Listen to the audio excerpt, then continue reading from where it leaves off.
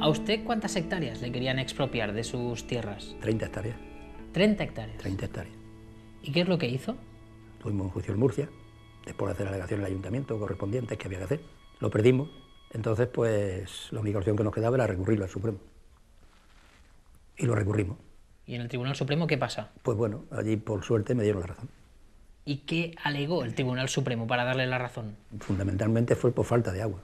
O sea, lo mismo que usted pensó en un primer momento, que aquí no hay agua para hacer dos campos de golf, es lo que acaba sentenciando el Tribunal Supremo, pero después de pasar por el Ayuntamiento, después de pasar por el Tribunal Superior de Justicia de Murcia, después de recurrir, se llega a la misma conclusión que usted al principio.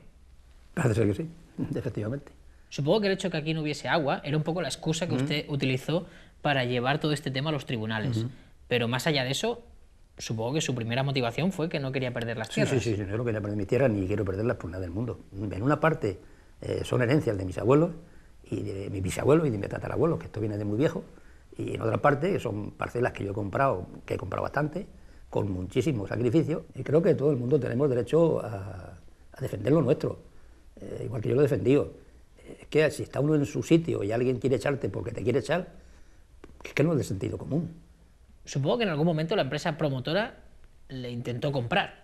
Sí. ¿Cuánto dinero le ofrecieron por comprar Bueno, sus eh, tierras? en principio empezaron a 800.000 pesetas hectárea, es decir, a unas 80 pesetas metro, luego a millón, luego a millón y medio, luego dos millones.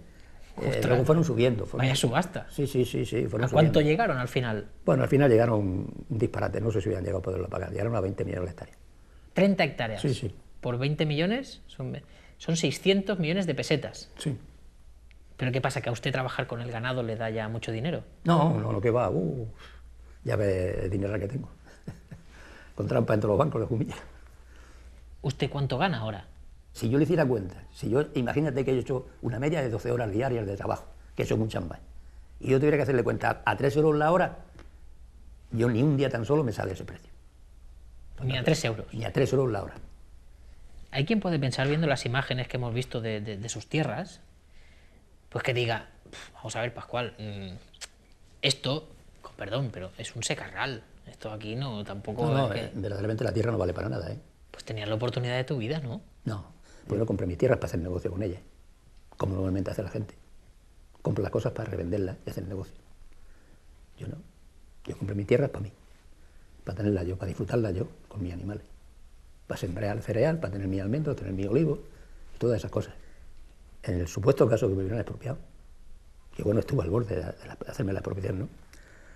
Te puedo asegurar una cosa, que Pascual Garrión al día de hoy no estaba en el pueblo de Jumilla No estaba en el pueblo. muy rápidamente hubiera salido pitando de aquí, de Jumilla. ¿Para dónde? No lo sé, pero me hubiera ido. Pero para mí ya no hubiera sido lo mismo. Para mí ya no hubiera sido igual. Para mí es, mi- es este mi sitio, donde, donde me gusta estar. Pero tanta importancia le daba usted a sus tierras. A mí hoy me vienen dando el doble dinero que me daba la promotora y yo vendo mis tierras. Es decir, a mí el dinero nunca, no es que sea ahora en esta ocasión, es que el dinero a mí nunca, jamás en mi vida me ha hecho sensación. Yo no me hubiera comprado un yate, porque el agua me da horror meterme eh, bueno, me, muero si me meten ahí dentro del agua. ¿eh? Ni me hubiera ido por ahí de viaje a ningún sitio, a mí no me gusta viajar. Mí me gusta estar aquí en mi casa, me gusta ver mis animales, me gusta ver mi campo, y me gusta todas esas cosas, y ya está. Para eso no hace falta tener ni, ni, ni 600 millones de pesetas, ni 400 millones de euros, ni nada de nada. Me da igual. ¿Usted ha militado alguna vez en un grupo ecologista, en alguna No, asociación, No, no, no. en algún partido político? No, no, no, no. ¿Usted ha sido de izquierdas, de derechas? Yo soy de los pobres. Yo soy de los pobres. ¿Qué significa eso de, de soy de los pobres?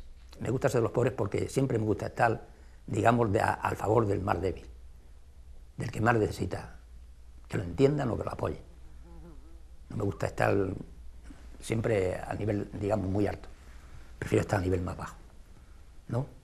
Eh, a veces, a lo mejor, si te pones a hablar con una persona pobre, te das cuenta de cómo habla y habla con más sentido común que una persona rica. ¿Usted en algún momento en todo este proceso se sintió muy solo? Si te digo la verdad, solo no. Me sentía solísimo.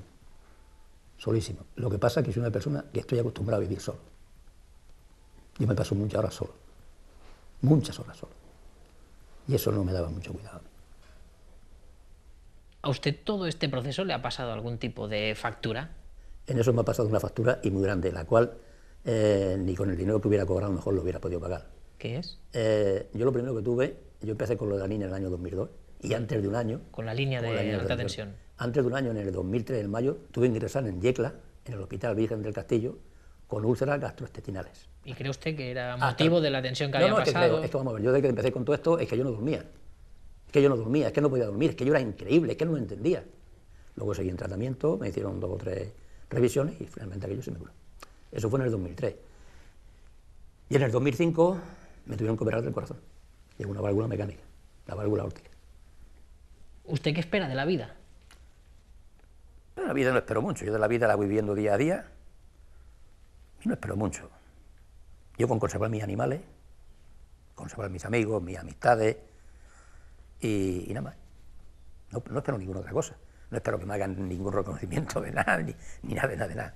De todo eso paso de todo. Yo con, con ser feliz me sobra. me- y ser feliz es de esa forma. No necesito más.